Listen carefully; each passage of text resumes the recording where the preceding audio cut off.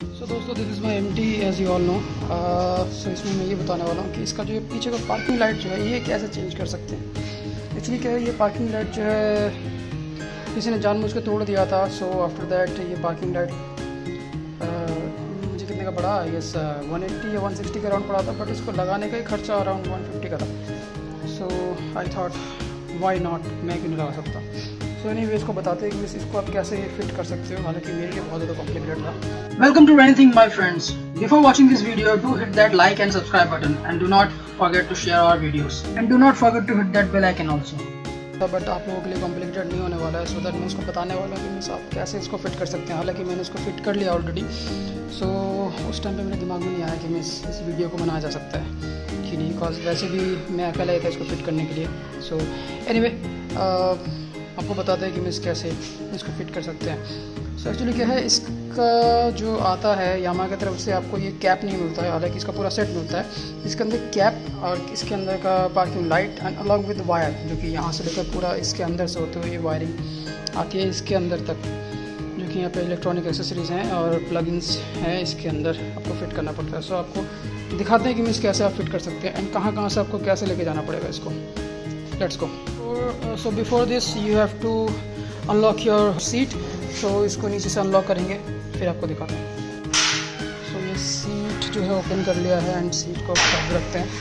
इसके अंदर बहुत सारी वायरिंग है and it will be complicated so आपको कुछ नहीं करना पड़ेगा जस्ट आपको ये करना है ये जो बोल्ट्स हैं इस बोल्ट को आपको खोलना है सो so दैट ये थोड़ा सा फ्लेक्सिबल टाइप हो जाएगा लाइक like, बोल्ट को खोलने के बाद आपका ये जो आप इसको थोड़ा सा टिल्ट कर सकते हैं लेफ़्ट की ओर।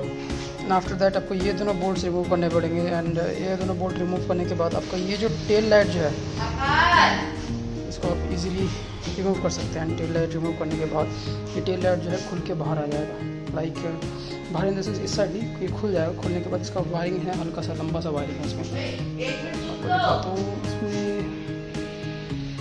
ये जो वायरिंग है, इसका टेल लाइट ये इसका, इसके अंदर ही क्लिप क्लिप होके रहता है सो ये टेलर जैसे आप बाहर निकालोगे निकालने के बाद इसको आप यहाँ से ऐसे पकड़ के इसको यहाँ पे आप इस साइड रख देना। बिफोर एंड आफ्टर दैट ये जो है इसका क्या कहते हैं सीट का जो लॉक जो है इसको आप यहाँ से रिमूव करना है इसको खोलना है इसको खोलना है इसे पूरा जो है लॉक फिर रिमूव हो जाएगा। रिमूव करने के बाद इसके नीचे ये जो दिख रहा है इसके अंदर आपका पूरा हाउसिंग है। ये वाइट कलर का जो आ, क्या कहते हैं इसको सेफ्टी कवर जो दिख रहा है, इसके अंदर ही वाइट कलर का प्लग्स मिलेंगे, बहुत सारे। सो आपको आइडेंटिफाई कैसे करना है कि मैं इस जो पार्किंग लाइट है, उसका प्लग कौन सा है?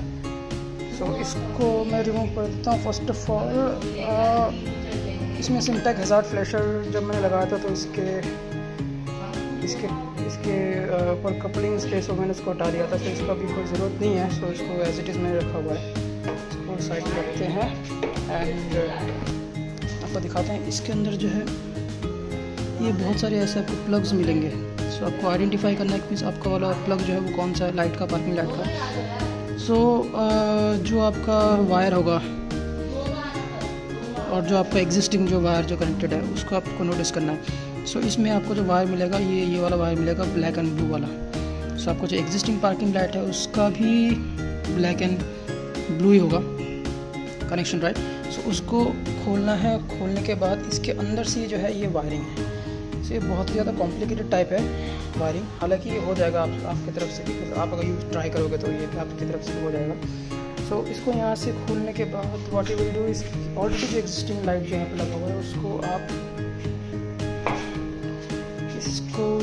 पे ये नट सा दे रखा है इसको नट नहीं सॉरी बोल्ट इसको आप खोलोगे और ये पूरा का पूरा निकल जाएगा। इसका जो वायरिंग है इनफैक्ट जो इंडिकेटर का जो वायरिंग है वो पूरा का पूरा इसके थ्रू गया है इस मेटेरियल फ्रेम के अंदर से। सो उसका मेटेरियल फ्रेम के अंदर से जो मैं आपको दिखा देता हूँ।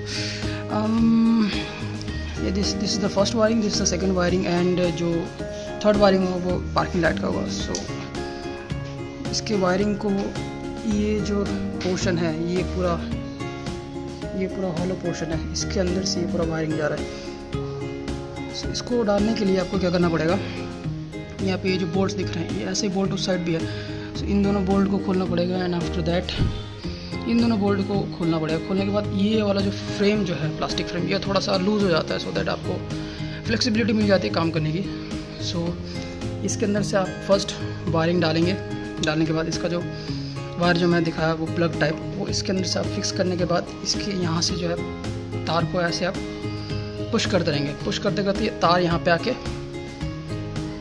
फंस जाएगा राइट वो प्लग यहाँ पे फंसेगा सॉरी तार नहीं प्लग फंसेगा यहाँ पे। एंड यहाँ से फिर जो है आपको ये जो हाउसिंग जो दिख रहा है वायरिंग दिख रहा होगा अंदर, जहाँ से ये तार निकल रहा है, ये वाला तार।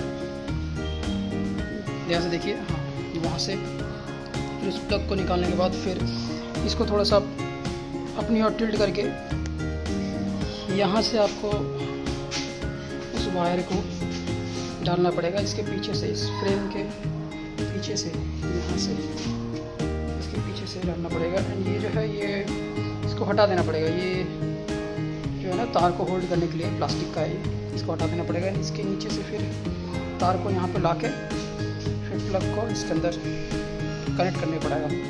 सो so, ये तो रही सिर्फ़ पार्किंग लाइट की बात। ऐसी आप बिल्कुल अपने इंडिकेटर्स इंडिकेटर्स लाइट के साथ भी आप बिल्कुल सेम वैसी सेम प्रोसेस है।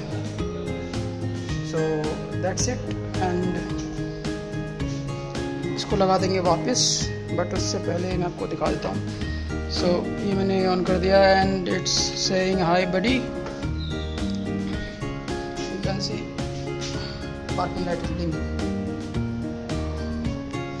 thank you for watching this video guys. So just like and subscribe to my channel if you like this video. And do not forget to share our video. Thanks